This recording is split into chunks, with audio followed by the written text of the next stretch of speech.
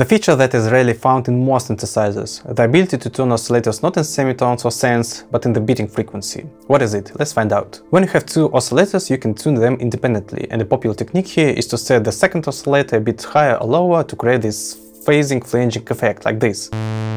Actually, what we are hearing now is called beating. When two slightly different waves overlap, they create a certain movement. It can be slow or fast. Currently, the tuning between the oscillators is constant, but the beating frequency is different for different notes.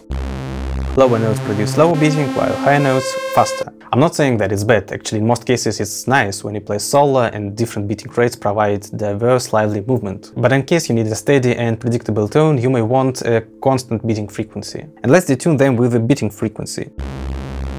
This is not going to work nicely with basses, but it's suitable for leads, plugs, pads and something like this. I know only few synthesizers with this feature, you can see the list on the screen. And let me know in the comments if there are any other instruments with this type of detuning.